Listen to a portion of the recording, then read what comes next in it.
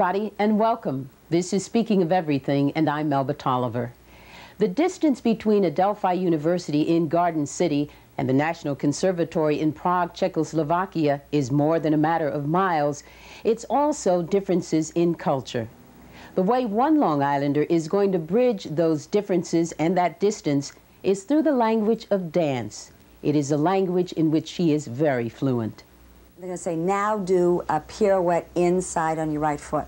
Pas de deux, pirouette, jeté. The words roll easily off her tongue. And as far back as Rochelle Zide Booth can remember, she has danced, has talked dance, and has taught dance. Television was the medium for this appearance on Camera 3 some 30 years ago.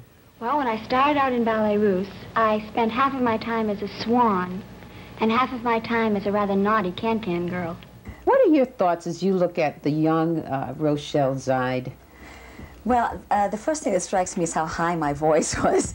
Um, I noticed that too. It was my, my when my daughter saw it, she said, "Mom, your voice." I said, "It's going to happen to you too. Don't worry." For the past 16 years, an Adelphi University classroom has been Professor Zide Booth's stage. We get a lot of kids coming into Adelphi um, that haven't had any training in ballet at all, or very little training, or training that needs to be retrained. It's not been good training. Um, so I'm used to working with older dancers. Teaching came naturally when an Achilles heel injury cut short a career that had had all the ups and downs of soap opera punctuated by prized principal roles with important companies, the Ballet Russe de Monte Carlo, the Robert Joffrey included. Now, thanks to a Fulbright scholarship, she's off to Prague, Czechoslovakia to teach the American ballet system to Russian-trained exactly. teachers. Um, this is a very good chance for America in general. Uh, and that's, I think that's one of the reasons why the American Embassy was so intent on having me come and do this. Because I've had experience in working in higher education, um, with curriculum development. I think that's one of the reasons why, rather than an, a normal quote-unquote ballet teacher who just goes in and teaches classes, I would be the right one to go and do uh, a curriculum redevelopment there. And also, I think that one of the things that played into the hands of the Fulbright people was that I have lived abroad I spent two years living in the Netherlands, and I have spent long periods of time in the Philippines and in Israel and other countries, six, seven, eight weeks at a time. So they knew that I was going to be able to adapt to other cultures. Explain, uh, if you will, this curriculum redevelopment that you're going to be involved in. Let's say if you're if you're going to school, uh, academic school, and you're going to take you're taking uh, math, you know that by the end of the year, you, if you're taking algebra, you have to accomplish the beginning of algebra, the middle of algebra, the end of algebra. Um, it's the same thing with dance. There are certain steps that you have to accomplish by the end of the year. There are certain levels that you have to reach by the end of the year. Maybe this year we're going to concentrate on turns. So we're going to learn all kinds of turns.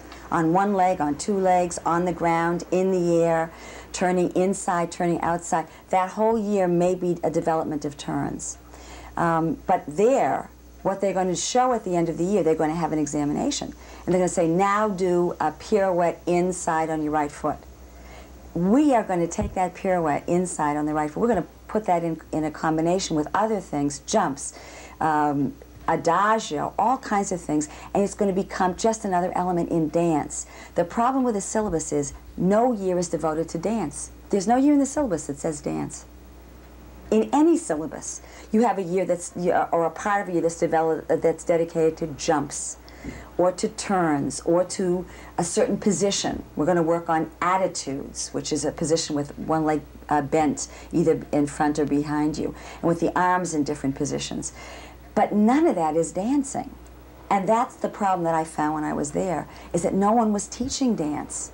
Over there, the syllabus is made for the ideal body. It is a Russian syllabus. Now, we in America will probably never produce a Baryshnikov or a Makarova because we are not willing to cripple dancers along the way. Now, explain that. Well, yeah, explain that. When you say that we will probably never produce a Baryshnikov because uh, in this country not willing to cripple dancers, what do you mean? Because the Russian syllabus is only ideal for the ideal body. For, and, and, and the ideal body is? Is a body that is very flexible, and where the joints are very flexible, and yet there is a certain muscular development and strength, usually genetically, there. And then they just build on the genetics. And um, in America, when you walk into a class in America, if you walk into a ballet class, you're going to see a six foot three inch man standing next to a four foot nine inch woman. One will be chunky um, with very strong muscles. I mean, if you if you go if you look at at our Olympics or our Pan Am Games that are going on now, you can see the difference in body structure in America. What is an American body? We, we don't know it in America. We're all different. Um, but over there, they tend to have, in Russia or in Czechoslovakia or in Poland, they tend to have very much the same body type because they've been inbred for so many generations. Now, in Russia, they get a 1,000 students applying to the school every year. They take 20. So you know, and they take them by body type, not by talent. They don't even determine the talent. So you and know the that they're taking in Czechoslovakia. it- they- well, that's the problem. Therein lies the problem. Because in Czechoslovakia, they don't get a thousand students audition, they get a hundred. And when you take a quarter of a hundred, it's not the same as taking 20 out of a thousand. So they don't have the greatest uh, selection of body type. And their system doesn't work on the less than ideal body. And the less than ideal body being forced to assume positions that that flexibility requires can literally become crippled. There are Russians who studied dance who have difficulty walking for the rest of their lives, in the way that our football players, with their injuries, have difficulty sometimes after football in, in, uh, in carrying on their normal lives. There are many dancer, many people who are trained as dancers in Russia. They don't make it all the way through the school because the idea is if you can't do it, get out. And over here, you see, we see the talent. Sometimes that talent isn't put in the right packaging. Nature or God or whatever did not put it in the right packaging. But that's not a reason why that, that there's no reason why that talent shouldn't get a chance to perform. We feel in America. In Russia, you don't get a chance. In Czechoslovakia, you don't get a chance. You become a folk dancer or you do something, but you don't become a ballet dancer. So they don't know how to train dancers. They merely know how to put the syllabus in orbit. You can do the syllabus, and if you can do it, you do, and if you can't, you get out. And um, as a result of that, because they have to have numbers in their classes in Prague, um, the same as in colleges. I mean, if we can talk honestly here, we sometimes take people that may not be the most suited. And surprisingly enough, some of those people are the ones that turn out to be dancers in our system because we are willing to take into account the fact that talent can be developed in a different way. This is Speaking of Everything. We're talking to Rochelle Zide Booth about dance. We'll continue right after this.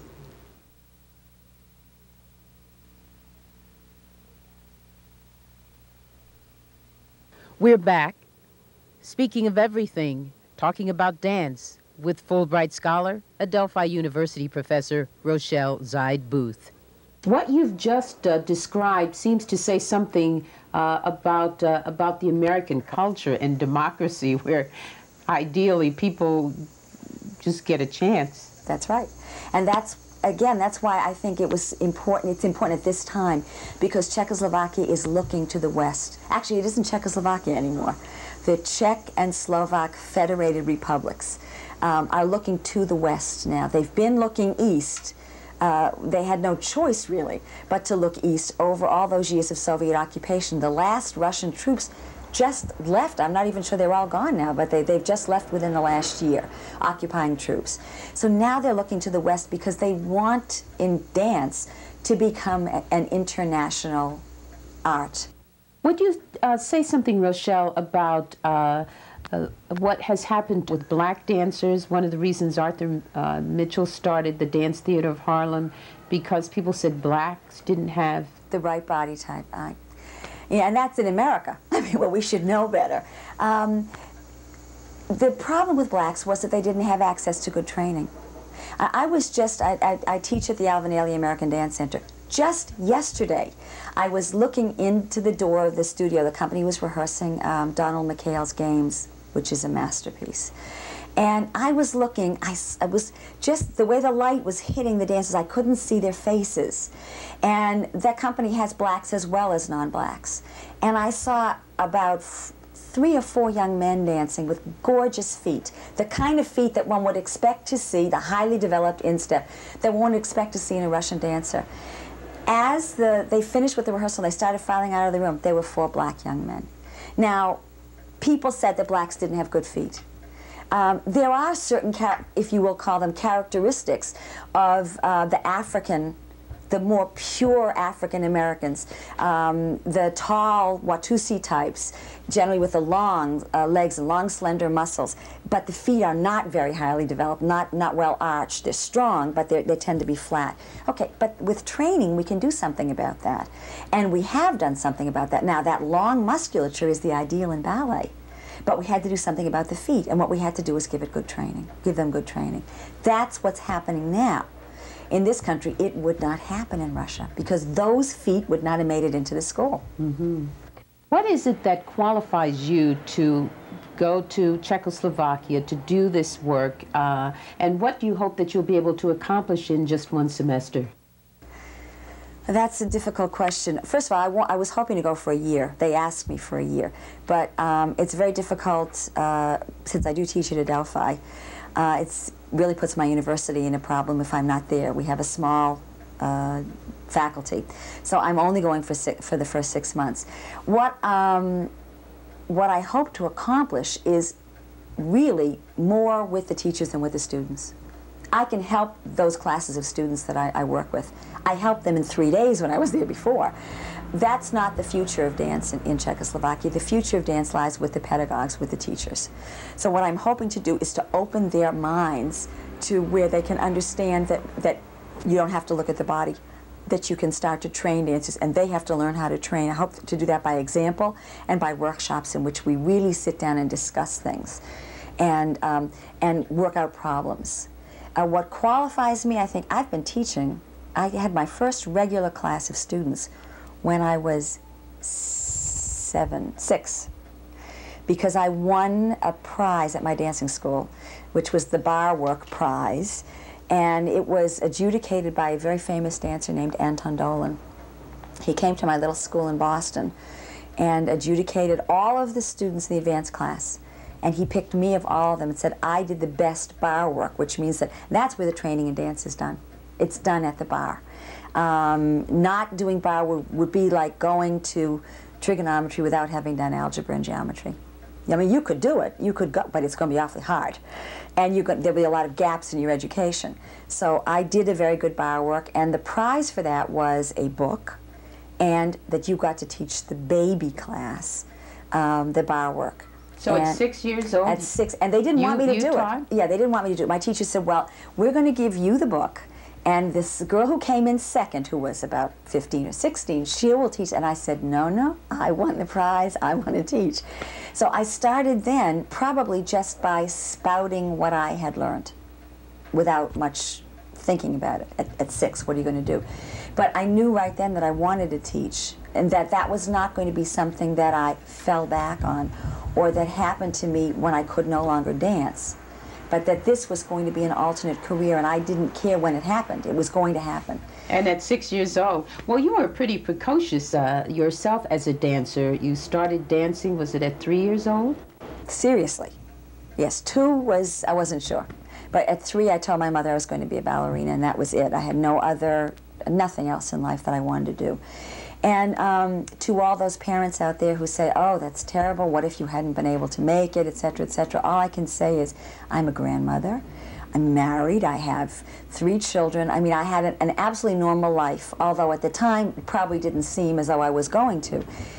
But I think that having had that ambition and that drive and wanting to be, knowing what I wanted, and going full force, putting all my eggs in one basket. Not taking Latin in school because I knew that French was the language of ballet and I needed to take French.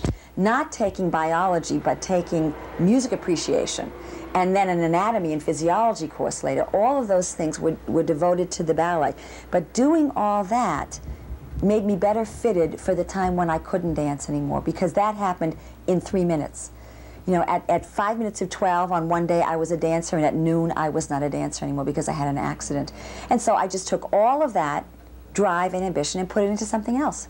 All right, we're going to talk about that uh, that that accident that changed the course of your uh, career. But let's get back to three years old. How did your your uh, career as a dancer develop after that? What uh, you grew up in Boston, Mm-hmm. you studied in Boston, you and then what happened? Well, I went to, I used to go to New York on my vacations from school. I mean, it was so inexpensive then, you could do that. And um, I had always wanted to be in the Ballet Russe de Monte Carlo. I had seen that company, it was a touring company, and it had a repertory that I loved and the leading dancers that I loved.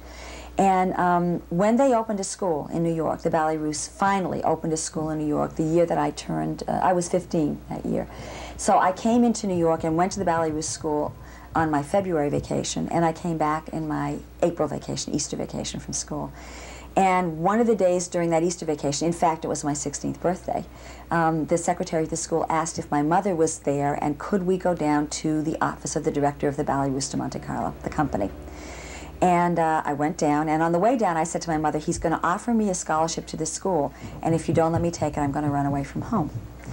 Because I wanted, that was my company. And I said, I'm not going to tell him that I, you know, I can't do this. So she knew I was serious, and when we got there, he offered me a job in the company. And my mother said, but she's just 16 years old. And I said, very practical, where did you hear about me? Speaking of everything, we will continue the conversation right after this.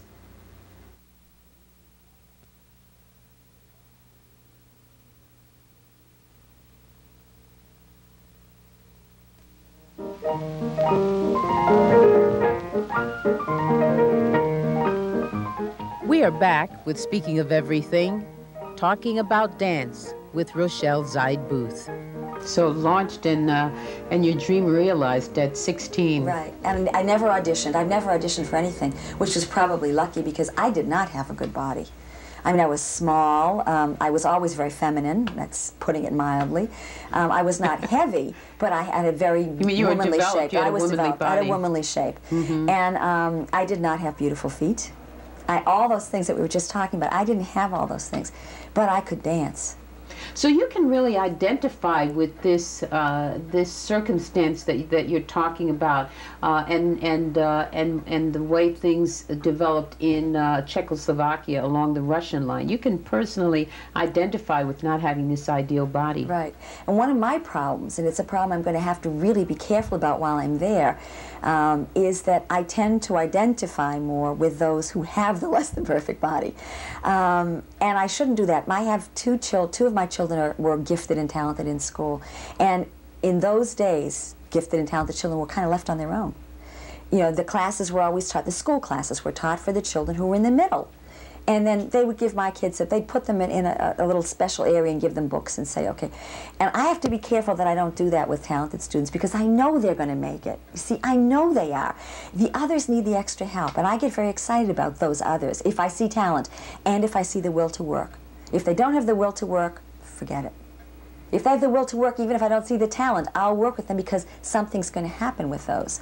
So I have to keep myself open to the ones who are talented as well because they deserve a chance. I do it at, at Adelphi, I do it at Ailey, but I do tend to push the others, knowing that somebody else is going to speak up for the ones that are very talented. Now, I'm going to be the spokesperson for the one who, ones who aren't as talented, yeah, physically gifted. This is not going to be your first visit to Prague. Um, you were there, what was it, a year ago? It was, uh, yes, just a year ago, Just in the summer. ago. I was there in June. Um, I was teaching, invited to teach two weeks in Cologne for um, a workshop called Dance Black America. And um, I taught in Cologne for the two weeks, but before that, I wanted to go to Prague.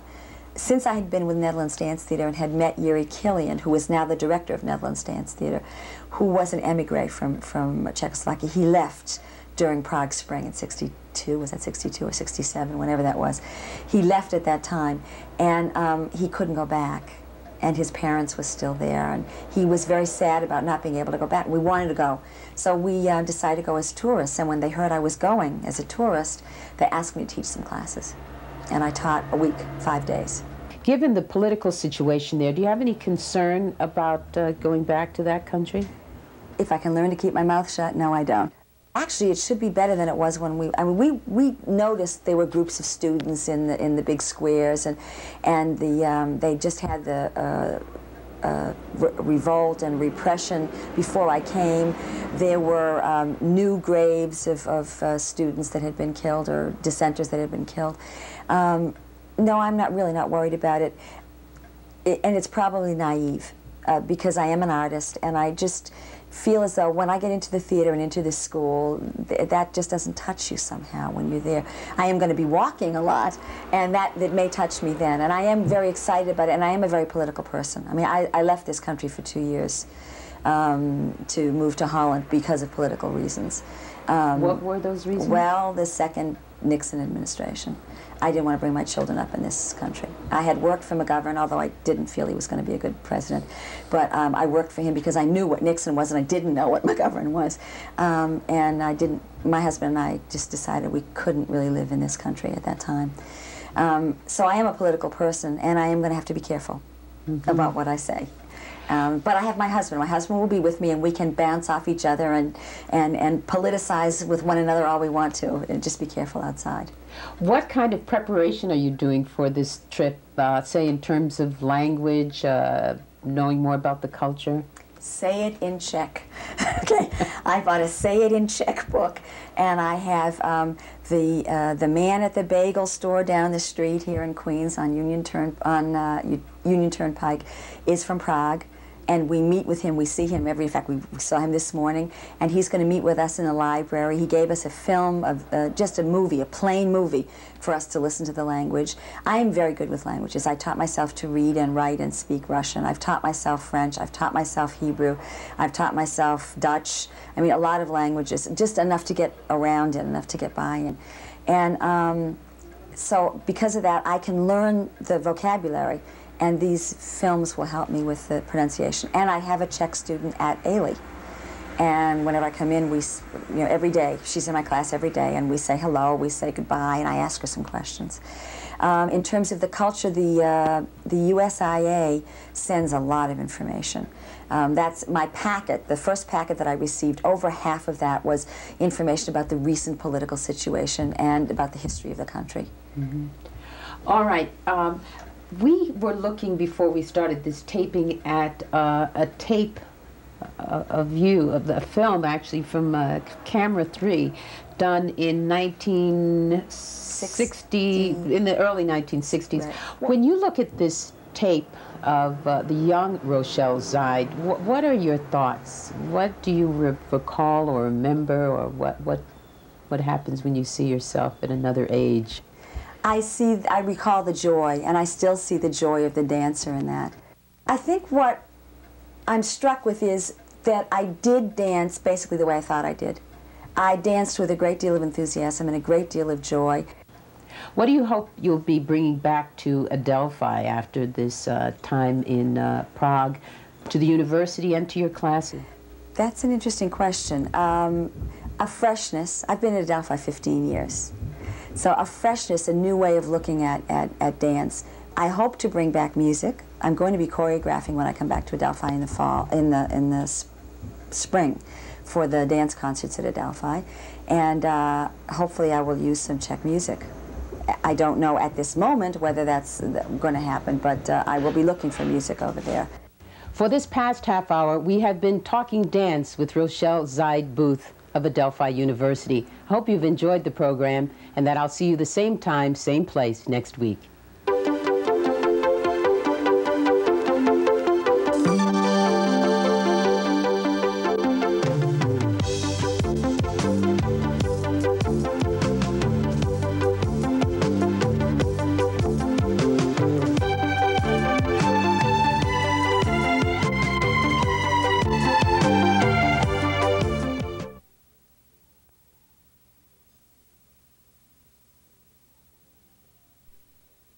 Of its politically difficult suggestions for groundwater protection will ever be adopted by local governments. Pat Dolan, News 12, Long Island. And Koppelman says that because of all the controversy surrounding the plan, it stands only a 1 in 10 chance of ever becoming law. Much more on the evening edition when we continue Brown Braniff Airlines back in bankruptcy court. And uh, I'll be telling you about a woman who's teaching new dance moves to students of the old school. The sustained extension of the legs and the control of the body. Soviet system reaches into politics and economics and also into the teaching of dance in a former Soviet satellite. Well, now an Adelphi University dance scholar departing this month for Prague, Czechoslovakia, is bringing some American moves to their Russian-based tradition. They're going to say, now do a pirouette inside on your right foot. Pas de deux, pirouette, jeté. The words roll easily off her tongue. And as far back as Rochelle Zide Booth can remember, she has danced, has taught dance, and has taught dance. Television was the medium for this appearance on Camera 3 some 30 years ago. Well, when I started out in Ballet Russe, I spent half of my time as a swan and half of my time as a rather naughty can-can girl. Well, uh, the first thing that strikes me is how high my voice was. Um, for the past 16 years, an Adelphi University classroom has been Professor Zide Booth's stage. We get a lot of kids coming into Adelphi um, that haven't had any training in ballet at all, or very little training, or training that needs to be retrained. It's not been good training. Um, so I'm used to working with older dancers. Teaching came naturally when an Achilles heel injury cut short a career that had had all the ups and downs of soap opera punctuated by prized principal roles with important companies, the Ballet Russe de Monte Carlo, the Robert Joffrey included. Now, thanks to a Fulbright scholarship, she's off to Prague, Yugoslavia, to teach the American ballet system to Russian-trained teachers. This is a very good chance for America in general uh, and that's, I think that's one of the reasons why the American Embassy was so intent on having me come and do this.